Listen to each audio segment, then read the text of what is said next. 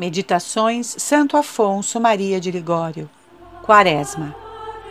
Sexta-feira depois das cinzas. Comemoração da coroa de espinhos de Nosso Senhor Jesus Cristo. Coroação de espinhos.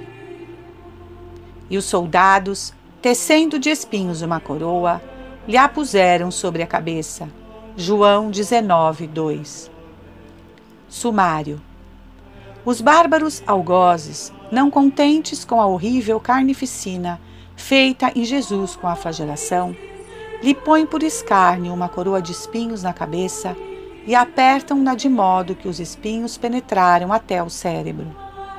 Eis como o Senhor quis reparar a maldição fulminada contra a terra, isto é, contra Adão, em consequência da qual a natureza humana não pode produzir senão abrolhos e espinhos de culpas. Eis como Jesus quis espiar os nossos maus pensamentos. 1. Um, os bárbaros algozes, ainda não contentes com a horrenda carnificina feita no corpo sacrossanto de Jesus Cristo com a flagelação, instigados pelos demônios e pelos judeus, querendo tratá-lo de rei de comédia, lhe põe aos ombros um farrapo de um vestido vermelho, à guisa de manto real. Uma cana verde na mão, à guisa de cetro, e na cabeça um feixe de espinhos entrelaçados em forma de coroa.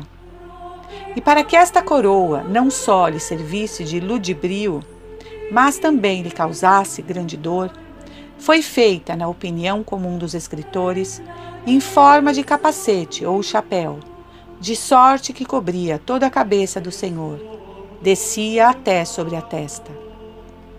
Além disso, colhe-se do Evangelho de São Mateus que os algozes com a mesma cana batiam nos espinhos compridos, a fim de entrarem mais dentro na cabeça.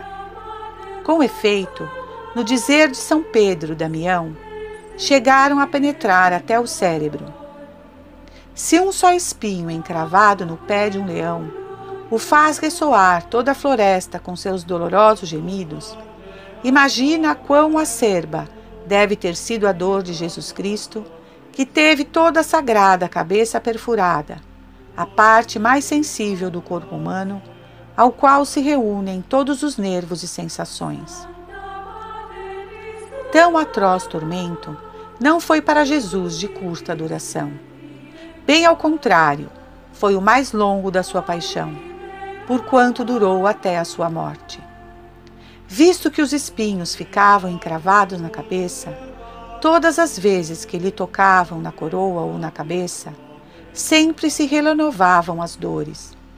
E o cordeiro manso deixou-se atormentar à vontade dos algozes, sem proferir uma só palavra. Era tão grande a abundância de sangue que corria das feridas que lhe cobriu o rosto, ensopava os cabelos e a barba e lhe enchia os olhos.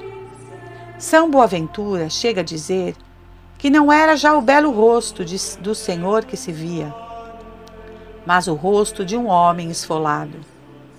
Eis aí, exclama o bem-aventurado Dionísio Cartusiano, como quis ser tratado o Filho de Deus para obter para nós a coroa de glória no céu. 2. A terra será maldita na tua obra, ela te produzirá espinhos e abrolhos. Esta maldição foi lançada por Deus contra Adão e toda a sua descendência, pois que pela terra não se entende tão somente a terra material, senão também a natureza humana, que estando infectada pelo pecado de Adão, não produz senão espinhos de culpas. Para a cura desta infecção, diz Tertuliano, foi mister que Jesus Cristo oferecesse a Deus o sacrifício do seu longo tormento da coroação de espinhos. Por isso, Santo Agostinho não hesita em dizer que os espinhos não foram senão instrumentos inocentes, mas que os espinhos criminosos que propriamente atormentaram a cabeça de Jesus Cristo foram os nossos pecados, e em particular os nossos maus pensamentos. Spine quid nisi peccatoris? É isso exatamente o que Jesus Cristo mesmo deu a entender quando apareceu certa vez a Santa Teresa, coroado de espinhos. Quando a santa lhe testemunhava sua compaixão, disse-lhe o Senhor: Ó oh, Teresa, não te compadeças de mim pelas feridas que me abriram os espinhos dos judeus, mas antes pelas que me causam os pecados dos cristãos. Ó oh, minha alma, tu também atormentastes então a cabeça de teu redentor com o teu frequente consentimento ao pecado. Por piedade, abre ao menos agora os olhos, vê e chora amargamente o grande mal que fizestes. Ó meu Jesus, vós não tinhais merecido ser tratado por mim como vos tenho tratado. Reconheço a minha ingratidão, arrependo-me de todo o meu coração. Peço-vos que não somente me perdoeis, mas que me deis tão grande dor, que durante a minha vida toda continue a chorar as injúrias que vos fiz. Sim, Jesus meu, perdoai-me, visto que vos quero amar sempre e sobre todas as coisas. E vós, ó Eterno Pai, concedei-me que, venerando na terra, em memória da paixão de Jesus Cristo, a sua coroa de espinhos, mereça ser um dia por ele coroado no céu com uma coroa de glória e honra. Fazei-o pelo amor do mesmo Jesus Cristo e de Maria, sua mãe.